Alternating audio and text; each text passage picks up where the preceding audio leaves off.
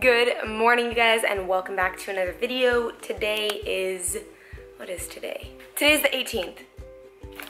Yes, today is Tuesday, October 18th, and uh, you guys will notice that I'm gonna have workout footage from, I think, two days ago when Nikki was still here. The rest of the vlog is gonna be based around today. So I'm thinking of making this video uh, kind of like a mindfulness-based video because I've been getting really positive feedback from you guys about sharing kind of my coping mechanisms with um, kind of the mental stuff I'm going through right now, like the anxiety and stuff. So I figured I'd kind of take you guys through what I've been doing as of recent to help or just kind of like welcoming mindfulness into my life and also just a regular daily vlog. So I've been up since about 7.30 but I took my sweet time in bed because I, I woke up feeling like not the greatest. It's 9.30 now and I figure I'm gonna have a quick protein shake take a quick shower, and I think I'm gonna head to the bookstore because that seems to be my favorite place as of recent. So that's what's going on. Let's do it. I need to stop saying let's do it.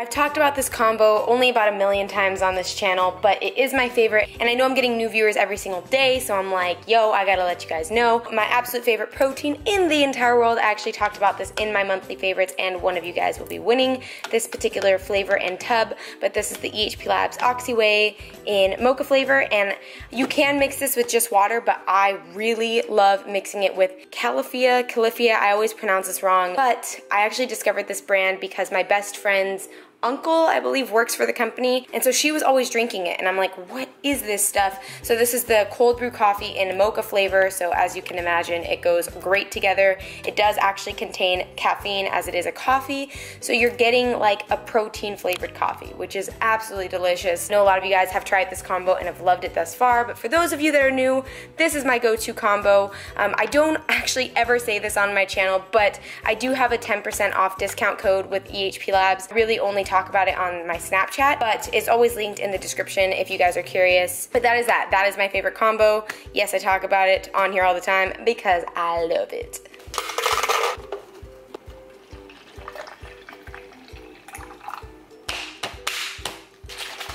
So I normally just drink it like this, but today I actually decided I'm gonna try something new because I'm pretty sure my friend Katya told me that she drinks it over ice. I'm gonna grab like three or four ice cubes and throw it in there because then I feel like it'll give me like a iced coffee effect, which I like the idea of. I got this cup from a subscriber at a meetup. It's like a Starbucks like iced coffee cup. So I'm actually going to transfer this over there.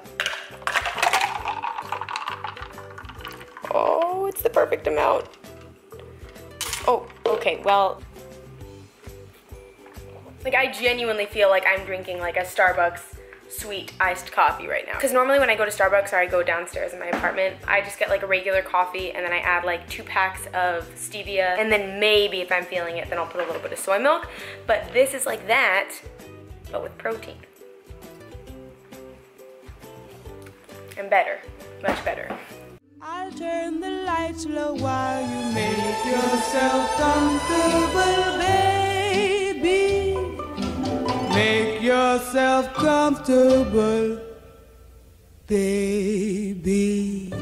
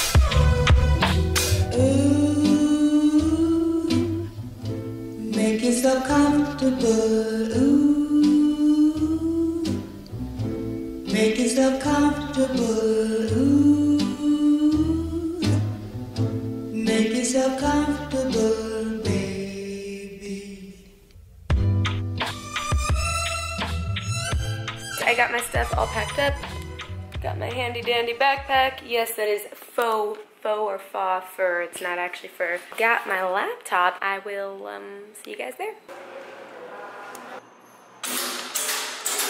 Oh my god.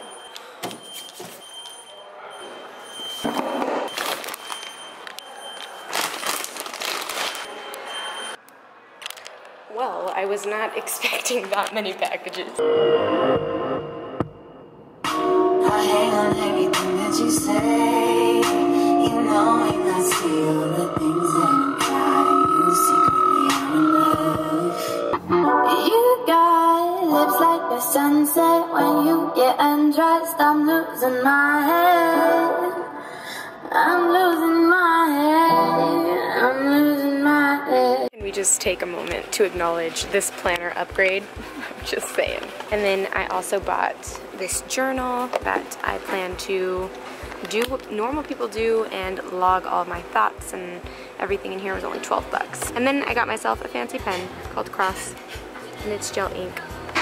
Gonna do some computer work now. Probably my favorite part of the planner is like each month. So obviously it's October. So it says this month is the month to sip hot cider, buy a new pair of boots, carve a pumpkin, or just add glitter, bake an apple pie from scratch. And for November, sleep in, indulge in the lumpy mashed potatoes, give an impromptu toast, and count your blessings. This is probably the nicest planner I've ever got myself. So I'm gonna fill it out, or at least like some of it right now, and make it mine.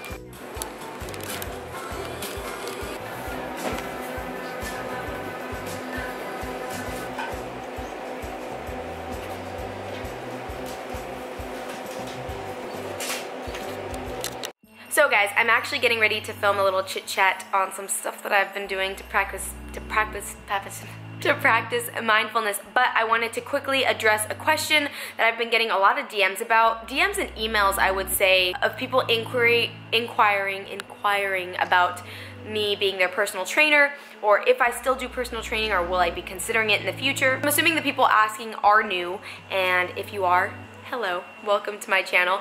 So I was doing online coaching before with my good friend Brendan. Let me just set this up right here. Yeah, so I was doing online coaching before with my good friend Brendan, but we took a break while I was doing all of the traveling because it honestly came to be way too much. Having 20 clients and traveling to three different countries a month, a week, whatever it is, it, it gets to be a little draining. Now, I did mention this before, so to those of you who have already heard this, I am so sorry, but basically I'm getting certified through NASM because I decided that was what was best for me to essentially have certifications to back up my knowledge and my programming and all of that. So I was on the program for a while, but as you guys saw when I was on the Gymshark World Tour, I went to three different countries in one week. And I was keeping up with it, but at this point, I just feel like I need to be refreshed on everything. I'm restarting the online course next week because I paid the extra to be able to go through the study course online. And from there, I believe it can take up to three months to get certified. Guys, I'm not trying to rush this, and I know some of you probably are not happy that I'm restarting the program, but I'm doing what's best for me and I wanna make sure that I ace this test when I take it. So yes, I am getting certified and I restart the program on Monday of next week. I'll be keeping you guys updated as I go through it and try and teach you things along the way that I learn. Yeah, once I take the test and get certified, I will 100% be taking on clients. It'll be a small amount and then I'll work my way up from there. There's also been a really positive response to me offering two-week trials to you guys, which is awesome. NASM essentially found out that I was getting certified because they came across my YouTube videos and I know a lot of you guys have been doing it. The response has been really positive. So for those of you that are new, if you are interested in becoming a personal trainer, I think it's a great thing to do. I will leave the two week trial linked in the description box and I'll also have it across the screen for you guys if it's something you're interested in. If you have any questions at all about what program I took or anything, comment below. I'll be sure to respond to you. And yeah, for more extreme questions, feel free to tweet me. My Twitter is it's the poop. Yeah. I need to change that. Not very professional. Anyway, I hope that cleared up that little bit of confusion for you guys and let's carry on with the video. I told you that this particular video would be primarily about, you know, kind of welcoming in mindfulness and, you know, trying to just figure out what works best for me in those moments. I'm gonna show you guys some of the new books that I'm currently reading or preparing to read and just overall some new things I have kind of taken on and I hope it helps you guys. I hope it gives you guys some ideas and I'm really excited to show you guys, so give me two seconds. So as you guys already saw in an earlier clip when I was at Barnes & Noble's, I got my new planner and I'm actually just realizing it's a Kate Spade planner, but this is it and I think it's freaking gorgeous and it has the little black loop-de-loop -loop thing to put around it. I don't know, I thought it was cute. Honestly, I think having a planner is a super important thing to incorporate into your life. I know for myself, I get really stressed and overwhelmed. I mean, I'm already stressed and overwhelmed half the time because I'm anxious, but on top of that, if I have plans and I don't realize I have them and I'm not keeping up to date with the things I need to do throughout the week, etc., it just ends up honestly stressing me out so much. And all of that can be avoided by just taking like 20 minutes out of your day, just write what you want to accomplish that day in your planner and get a cute one, you know, like get one that you're gonna be excited to, to work with. Get yourself a cute planner, get yourself organized, it'll help you a bunch. And I prefer big planners hence why this is like textbook size. So this next one I'm actually pretty excited about. I got this idea specifically from Nikki and Twitter. I don't know why, I feel like a lot of people were tweeting about this for like a good period of time and then it kind of branched off. And I saw Nikki doing this while she was here. When I went to the bookstore by myself the other day, I saw a whole selection of adult coloring books. So this particular one is A Million Cats, Fabulous Felines to Color. There were bookshelves dedicated to adult coloring books. I had no idea it was this crazy of a craft. And I got kind of overwhelmed because as you can see, let me find a page. Look at this, like this is way too detailed for me. What, that is a lot of colors for one, and how am I actually gonna draw in the lines of all those? Like, are you seeing that? That is intense. I started with this page. This is some of the most therapeutic shit I've ever done in my life, and excuse my French, but it is so freaking calming to just sit down, watch TV, listen to music, like whatever. Just take a moment to unwind and just color. You can do it before bed. You can do it when you wake up in the morning, like as you're like having your breakfast. I don't know. I do mine when I watch TV and unwind at the end of the night. It honestly is just super duper relaxing and you realize that you haven't really had the time to stress and be anxious and worry about other things because you've been coloring in a coloring book. And it's honestly, it's just fun. You feel like a kid again. You get to color coordinate. Nikki chooses demented colors when she colors. I don't even, I don't know what it means. She picks like brown, yellow, orange, green, and puts that on a bird. I'm like, Nikki, what are you doing? And then, of course, you need colored pencils. I bought this little bag. Uh, it looks like a makeup bag, honestly, but I think it's for pencils. And um, I have all of my colored pencils in here. They're really nice ones. I just picked the one that had the most colors available, and it comes with a sharpener and an eraser. Am I the only one that didn't know that you could use a colored pencil and erase it? That would make sense, but when you try to erase with a regular eraser in school with a colored pencil, that shit just smeared everywhere. So I think this one is specifically for colored pencils and I freaking love it. The next thing that I've purchased is a journal. I used to actually journal a lot when I was a kid and I write, I write a lot. So I have the tendency to kind of like my hand will cramp up on me or I'll get like a, a lump in here just from writing too much. I've gotten calluses in the past. Like I write very intensely. But you know, I think that right now with the way that my mind has been wandering and the amount that I've had on my mind, I really feel like a journal would be a really good thing for me a lot of therapists will recommend this to you as well. It's a way for you to just kind of channel your thoughts into something physical. And a lot of people forget that and a lot of people are like, oh, I can just type it in my phone. And I'm like, we're on our phones all day long. You have your phone all the time. So I really recommend getting yourself a journal, write what you're thinking, writing it several times a day, writing it once a day, writing it once every couple of days. But I recommend once a day. That way you can kind of watch the progression of your thoughts and it can also help with your memory if you have poor memory, such as myself. This is now my third day journaling. I was using another journal before, but Actually, let me just show you guys what it looked like. Yeah, I had bought this journal from Barnes & Noble as well. It says, I may not reach nirvana, but at least I could try. Daily intention journal. And so I thought it was cool because I'm not gonna show you guys what I was writing, but it has like these put like the the date the mantra of the day and then you put like today is my intention uh, to be or to appreciate to let go of and to attract and then you just like you have x amount of lines to say how it basically went but then you go to the next page and it's the same copy Wow, it's really washed out, I'm sorry.